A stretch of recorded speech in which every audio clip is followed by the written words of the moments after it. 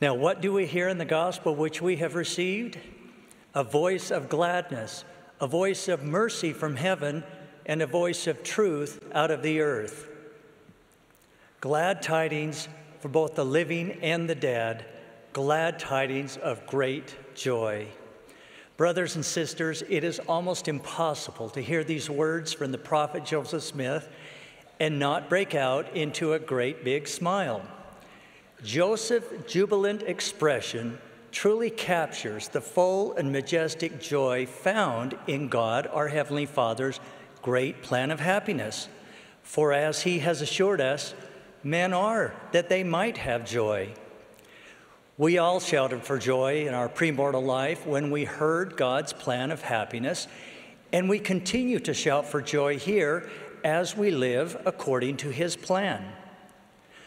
But what exactly was the context for this happy declaration from the prophet? What spurred these deep and heartfelt emotions? The prophet Joseph had been teaching about baptism for the dead this was indeed a glorious revelation that was received with great joy. When church members first learned that they could be baptized for their deceased loved ones, they rejoiced.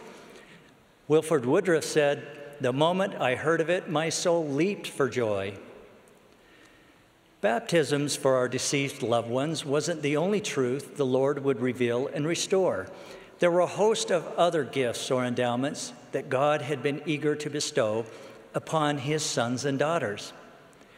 These other gifts included priesthood authority, covenants and ordinances, marriages that could last forever, the sealing of children to their parents within the family of God, and ultimately the blessing of returning home to the presence of God our Heavenly Father and His Son, Jesus Christ.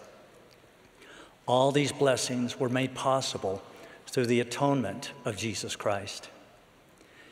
Because God considered these to be among his highest and holiest blessings, he instructed that sacred buildings be erected where he could confer these precious gifts upon his children. These buildings would be his home on earth.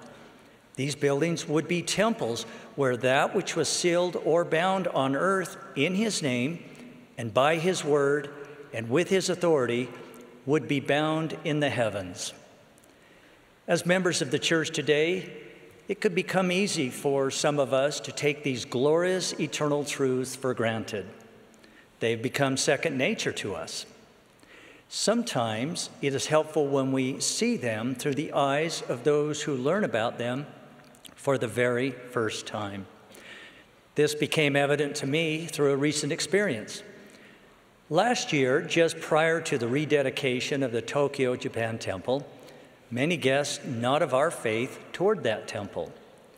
One such tour included a thoughtful leader from another religion. We taught our friend about Heavenly Father's plan of happiness, Jesus Christ's redeeming role in that plan, and the doctrine that the family can be united eternally through the sealing ordinance. At the conclusion of the tour, I invited our friend to share his feelings. In reference to the uniting of families, both past, present, and future, this good man asked in all sincerity, Do the members of your faith truly understand just how profound this doctrine is? He added, This may well be one of the only teachings that can unite this world that is so divided. What a powerful observation. This man was not moved simply by the exquisite craftsmanship of the temple, but rather by the stunning and profound doctrine that families are united and sealed to Heavenly Father and Jesus Christ forever. We should not be surprised then when even someone not of our faith recognizes the majesty of what happens in the temple. What could become common or routine for us is sometimes seen in its splendor and majesty by those who hear it or feel it for the very first time. Although temples had existed anciently, with the restoration of the gospel of Jesus Christ, the building of temples has been one of the highest priorities of all prophets since the prophet Joseph Smith. and is easy to understand why. When the prophet Joseph was teaching about baptism for the dead, he revealed another great truth. He taught, Let me assure you that these are principles in relation to the dead and the living that cannot be lightly passed over, as pertaining to our salvation. For their salvation is necessary and essential to our salvation. They without us cannot be made perfect, neither can we without our dead be made perfect. As we can see, the need for temples and the work that is done for both the living and the dead becomes very clear. The adversary is on the alert. His power is threatened by the ordinances and covenants performed in temples, and he does anything he can to try to stop the work. Why? Because he knows of the power that comes from this sacred work. As each temple is dedicated, the saving power of Jesus Christ expands throughout the world to counteract the efforts of the adversary and to redeem us as we come unto him. As temples and covenant keepers grow in number, the adversary grows weaker. In the early days of the church, some would worry when a new temple would be announced, for they would say, We never began to build a temple without the bells of hell starting to ring. But Brigham Young courageously retorted, I want to hear them ring again.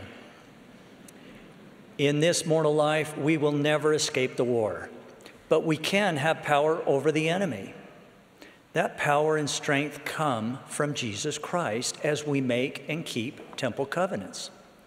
President Russell M. Nelson has taught the time is coming when those who do not obey the Lord will be separated from those who do. Our safest insurance is to continue to be worthy of admission to His holy house. Here are some additional blessings God has promised us through His prophet. Do you need miracles? Our prophet has said, I promise you that the Lord will bring the miracles He knows you need as you make sacrifices to serve and worship in His temples.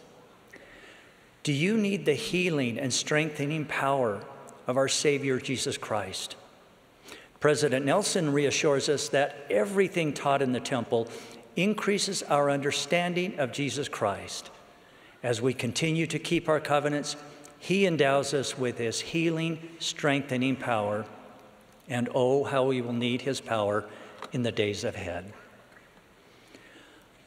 On that first Palm Sunday, as Jesus Christ triumphantly entered Jerusalem, a multitude of the disciples of Jesus Christ praised God with a loud voice, saying, Blessed be the King that cometh in the name of the Lord. How fitting that on Palm Sunday of 1836, the Kirtland Temple was being dedicated.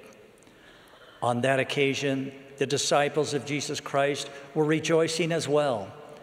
In that dedicatory prayer, the prophet Joseph Smith declared these words of praise O Lord God Almighty, hear us and answer us from heaven, where thou sits enthroned with glory, honor, power, majesty, and might.